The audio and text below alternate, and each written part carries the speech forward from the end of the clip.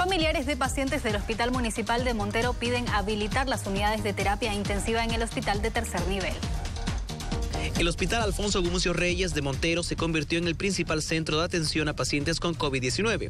Familiares expresan su preocupación y piden que se habilite lo antes posible el sector de terapia intensiva en el hospital de tercer nivel. Nuestra petición es en conjunto, peor como familia, tengo mi abuelo que está internado, más de una semana está necesitando ventiladores, necesita terapia.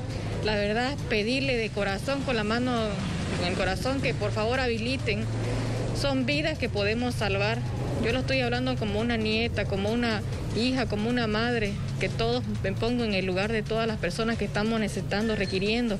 Es diario que se ve la necesidad de que se habilite de una vez el tercer nivel con terapia. Actualmente en el Hospital Gumucio Reyes hay terapia intensiva, hay espacio para terapia intensiva.